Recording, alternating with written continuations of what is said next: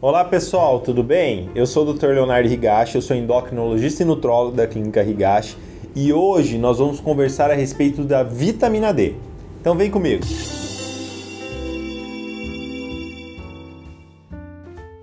A vitamina D, na verdade, tem nome de vitamina, mas é considerado um pré-hormônio, é um esteroide, onde é sintetizado através da radiação UVB, onde penetra na pele e estimula a produção da pré-vitamina D, que vai para o fígado, é estocado no fígado e tem que ser ativada pelas umas glândulas chamada paratireoide que produzem um hormônio chamado paratormônio para fazer as suas ações metabólicas e hormonais.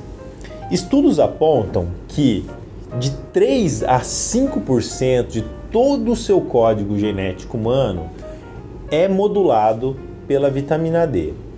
Daí tamanha a importância desse hormônio com nome de vitamina para o seu corpo. E quais são essas ações metabólicas que são fundamentais para a sua saúde da vitamina D? Então nós sabemos que a vitamina D é um hormônio fundamental para a absorção de cálcio, por exemplo, no intestino. Então é um dos hormônios que é importantíssimo para a saúde óssea e ajuda a controlar esse metabolismo ósseo. Tanto é que pesquisas mostram que deficiência de vitamina D leva à osteoporose. Nós também sabemos a importância da vitamina D no sistema cardiovascular e nas doenças endócrino-metabólicas, como por exemplo, diabetes, síndrome metabólica e obesidade.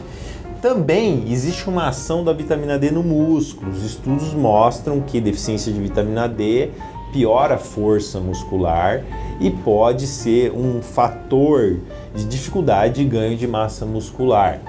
Também existe uma ação importantíssima na imunidade.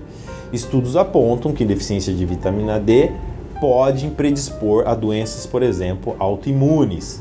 Existe também estudos mostrando a vitamina D como um regulador natural de inibição de células tumorais. Parece ser um mecanismo é, fisiológico do seu corpo de tentar regular o crescimento de tumores. E como melhorar os nossos estoques naturalmente de vitamina D?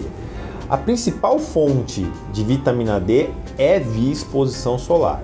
A outra fonte possível é via alimentar. Uma dieta ocidental é muito pobre em vitamina D porque você vai encontrar mais vitamina D na gordura do peixe. E hoje nós estamos vivendo uma pandemia de deficiência de vitamina D porque as pessoas se expõem pouco ao sol principalmente quando se expõe, se expõe com protetor solar, o que impede a formação natural de vitamina D. E para você ter uma boa conversão de vitamina D através da exposição solar, o ideal é que você tome sol sem protetor, com boas áreas expostas, como por exemplo, tomando, como se você estivesse tomando sol na praia de sunga e também, ao mesmo tempo, você tem que tomar cuidado para não lesionar sua pele, não sofrer queimaduras, não pode descamar, porque isso sim são lesões também pré-cancerígenas de pele. E devido a todos esses detalhes de dificuldade de formar uma boa quantidade de vitamina D de maneira natural, que nós estamos vivendo numa verdadeira pandemia de deficiência de vitamina D. E quais seriam então as pessoas que devem se preocupar mais com essa deficiência.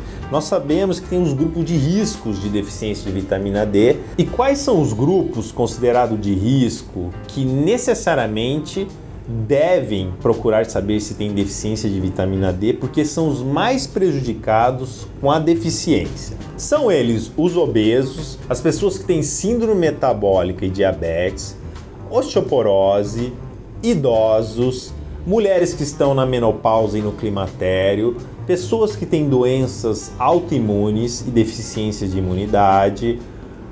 Não podemos esquecer das pessoas que têm câncer e também as crianças que estão em crescimento e desenvolvimento. Apesar de todos esses benefícios possíveis da vitamina D, eu recomendo que você saia tomando vitamina D sem uma avaliação prévia somente através de uma avaliação profissional, fazendo exames, que você vai conseguir saber se você pode repor vitamina D e assim colher os melhores benefícios da sua suplementação.